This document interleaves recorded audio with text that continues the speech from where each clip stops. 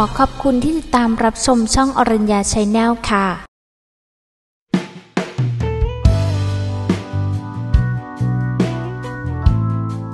สวัสดีค่ะคุณผู้ชม วันนี้มีคลิปดีๆเกี่ยวกับสมุนไพรสำหรับเด็กมาฝากคุณผู้ชมกันค่ะ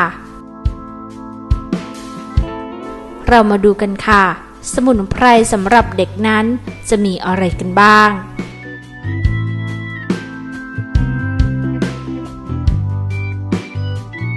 1. ยามหาหิง สมุนไพรสำหรับเด็กนี้นะคะ ใช้ได้ทั้งภายในและภายนอก เริ่มจากที่คุณเคย และทุกวันนี้นะคะหลายท่านยังใช้กัน โดยที่อ่านนึกไปว่าคือยาฝรั่ง เพราะผลิตจำหน่ายกันในโรงพยาบาลเอกชนก็มี เรียกกันติดปากว่า ยามหาหิง มาจากต้นมหาหิง คนโบราณนะคะเขาเอาก้อนมหาหิงมาผูกไว้กับข้อมือเด็ก เพื่อให้กลิ่นได้ช่วยบำบัดอาการท้องอืดเฟ้อในเด็กอ่อน หรือไม่นะคะก็นำมหาหิงมาฝนกับสุรานำน้ำยามาทาท้องเด็ก แก้ท้องอืดก็ได้เช่นกันค่ะ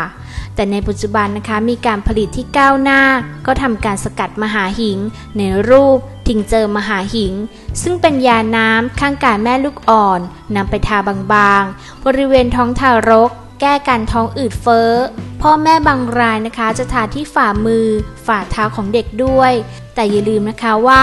ยามหาหิง ชนิดน้ำที่นิยมใช้กันอย่างแพร่หลายนั้น มีส่วนผสมหลักคือ แอลกอฮอล์มากถึง 70%เลยทีเดียว หากทาบ่อยๆ อาจทำให้เด็กผิวแห้งได้ โดยเฉพาะในเด็กกลุ่มที่มีผิวแห้งอยู่แล้วค่ะ ยามหาหิงนะคะมีข้อแนะนำและข้อจำกัดในการใช้ ดังนี้ค่ะ 1. มหาหิงนะคะที่มีส่วนประกอบของแอลกอฮอล์โดยเฉพาะทิงเจอมหาหิง ไม่ควรให้เด็กรับประทาน เพราะแอลกอฮอล์ปริมาณมากนะคะจะมีผลเสียต่อเด็ก แต่ถ้าหยดเพียงเล็กน้อย ผสมกับน้ำแล้วรับประทาน ชั่วครั้งชั่วคราวก็สามารถทำได้ค่ะ 2. ถ้าเป็นยาทา ควรทาเฉพาะที่ในสถานที่อากาศโปร่งถ่ายเทสะดวก หรือที่หลาย ๆ คนนะคะได้ลองทำแล้วก็คือ หลังจากทายาที่ท้องแล้ว ใช้ผ้าอ้อม ห่อบริเวณท้องเด็ก ก็อาจช่วยให้ท้องอุ่น ช่วยเสริมการออกฤทธิ์ของยาได้ดีขึ้นค่ะ 3. ควรระมัดระวังนะคะไม่ให้ยาเข้าตา หรือสัมผัสกับเนื้อเยื่ออื่น โดยเฉพาะบริเวณที่เป็นแผล หรือรอยถลอกค่ะ 4. ควรเก็บให้พ้นมือเด็ก และไม่ควรเก็บรวมกับยารับประทานตัวอื่นๆค่ะ 5. ควรสำรวจวันหมดอายุของยา เนื่องจากการเก็บยาไว้นานๆนะคะ จะทำให้ตัวยาออกฤทธิ์สลายตัว และให้ผลได้ไม่เต็มที่ค่ะ 6. หลังทาหากมีผื่นผิวแห้งมาก ลอกเป็นขุยควรหยุดใช้และปรึกษาแพทย์ค่ะ 7. เพราะฉะนั้นนะคะควรใช้ยามหาหิงอย่างระมัดระวัง หากพบว่า ลูกผิวแห้ง แตก ลอกเป็นแผ่น ควรเพิ่มความชุ่มชื้นให้กับผิว หรือปรึกษาแพทย์ค่ะ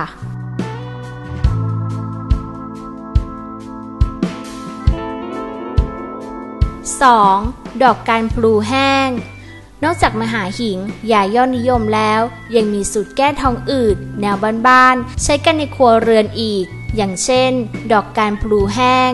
โดยนำดอกการพลูแห้งนะคะ 1-2 ดอก แช่ในน้ำสะอาด 1 ขวดน้ำเปล่า หรือประมาณ 1 ลิตร น้ำที่แช่ดอกการพลูนี้นะคะ ให้นำมาใช้ในการชงนมให้เด็กกิน ตัวยาอ่อนๆของการพลูที่ละลายในน้ำจะช่วยแก้ท้องอืดได้ค่ะ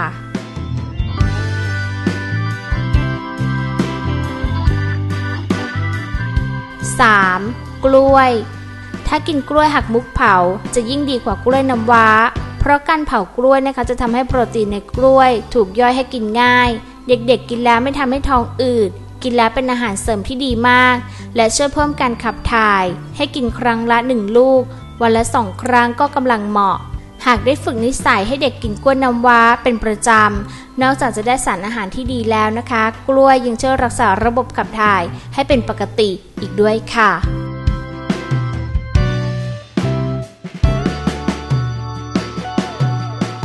4. ต้นทับทิมสำหรับกรณีท้องเสียนั้นนะคะ ต้องดูว่าเป็นการท้องเสียไม่มาก และไม่มีอาการไข้ร่มด้วย หรือถ้าเด็กท้องเสียแล้วมีอาการซึมกินอาหารไม่ได้ ถ้ามีอาการร่วมแบบนี้นะคะ ควรส่งโรงพยาบาลจะดีกว่าค่ะ แต่ถ้าถ่ายเหลวหรือท้องเสียไม่มาก เด็กยังร่าเริง ยิ้มแย้ม กินอาหารได้ ให้นำยอดอ่อนนะคะ ต้นทับทิมมาสักหนึ่งกำมือล้างน้ำให้สะอาด ใส่น้ำลงไปสัก 3-4 แก้ว ต้มเดือดนานครึ่งชั่วโมง ให้เด็กกินครั้งละ 1-2 ถ้วยชา กินทุกๆ 2-4 ชั่วโมง ถ้าผ่านไป 1 วันอาการยังไม่ดีขึ้น ก็ควรพบแพทย์จะดีที่สุดค่ะ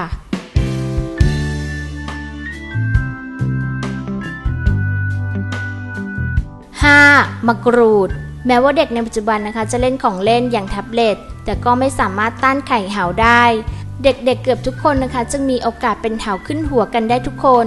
แต่อย่ากกังวลไปนะคะให้ใช้มะกรูดสักสองลูกนำไปเผาไฟ แล้วโขลกคั้นเอาแต่น้ำทาให้ทั่วเส้นผม หมักทิ้งไว้ครึ่งชั่วโมง แล้วล้างน้ำออกให้สะอาดค่ะ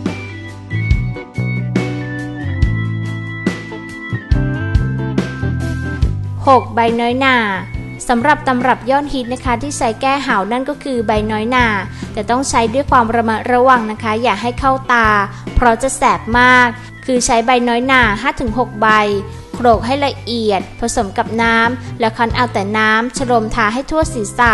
เอาผ้าโพกหมักไว้ครึ่งชั่วโมง จึงล้างน้ำออก ให้ทำซ้ำในวันรุ่งขึ้น ก็จะกำจัดเหาได้ดั่งใจค่ะ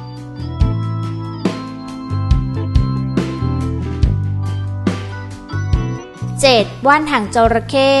อันที่จริงนะคะยังมีสมุนไพรที่ใช้ภายนอกสำหรับผู้ใหญ่ ก็สามารถนำมาใช้กับเด็กได้อีกมากมาย อย่างเช่น ไฟไหม้น้ำร้อนลวก เป็นแผลสด ก็ให้นึกถึงวุ้นว่านหางจระเข้ต้นไม้ที่ควรปลูกประจำบ้าน ใช้ได้ทั้งครอบครัวเป็นต้นค่ะ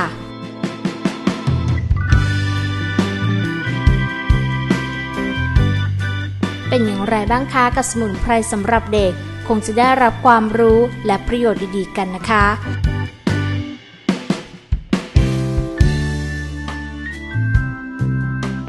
แต่ก่อนที่เราจะทานอะไรก็ตามนั้นนะคะ เพื่อรักษาโรคที่เราเป็น ก็ต้องศึกษาค้นหาข้อมูล หรือปรึกษาแพทย์ผู้เชี่ยวชาญทุกครั้งก่อนทาน เพื่อประโยชน์ต่อร่างกาย ถือเป็นการป้องกันและรักษาโรคได้อีกทางเลือกหนึ่งค่ะ